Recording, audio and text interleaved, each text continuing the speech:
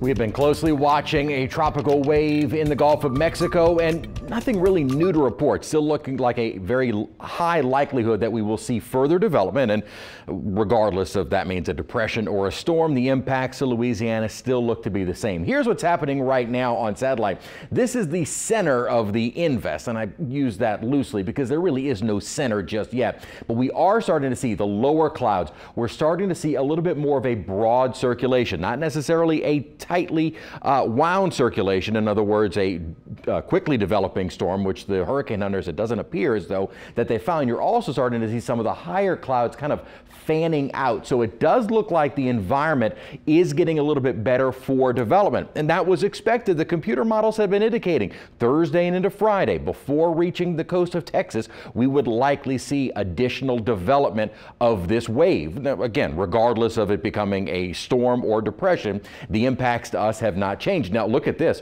One of the buoys is very near that center and it only had winds of 11 miles an hour. The wind direction is definitely there, but wind speeds are not quite up. As a matter of fact, I believe the hurricane hunters only found winds of about 25 miles an hour in some of the outlying thunderstorms. Upper low, which had been providing for some pretty decent wind shear and keeping this as a weaker storm, is beginning to pull away. So the environment is becoming a little bit better for further development. And as I mentioned, that is not a surprise. And so far, these are the kind of tropical systems we like to see. One, that's not a threat to us, and two, that has been uh, fairly well forecasted. And so far, this has been. Again, no major thinking. Any kind of circulation is going to be moving toward the Texas coast. For us, it's going to be leading to quite a bit of rainfall in both the Euro and the GFS. Certainly not indicating a very strong system, but certainly the possibility of maybe this becoming Tropical Storm Hanna.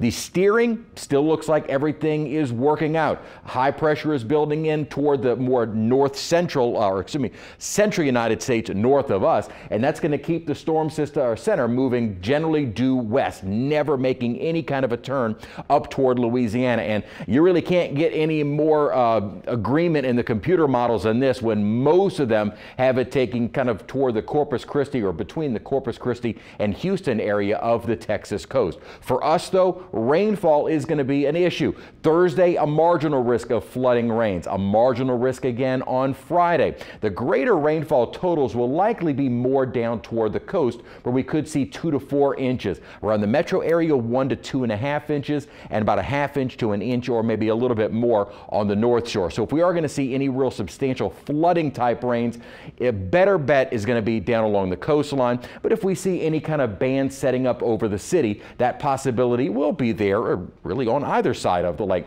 Also with that persistent easterly wind, we may see some minor coastal flooding in areas outside of the levee system. And I also want to quickly touch on Tropical Storm Gonzalo. It was upgraded to a tropical storm today. Will likely be a hurricane as it is a very small storm tomorrow. These small storms tend to rapidly intensify. Models are still hinting at this weakening once it gets into the Caribbean, but we have a whole lot of time to watch it. Right now outside here, just to look at our forecast real quick, 91 degrees with a dew point of 74, making it feel like the triple digits. 80s and 90s generally uh, uh, across the area all day today as we did have a few scattered showers, although we were able to get up to 94 degrees. Some thunderstorms moving away from Tangipahoa Parish. We've had a few little light showers kind of popping up across parts of the metro area, but for the most part, rainfall will be winding down as we go through the evening and night. Rain chances on the higher side for Thursday and Friday. That will help to keep our temperatures down and not exactly a dry stretch, but at least a little bit drier as we head into Sunday and next week. All right, Chris, thank you.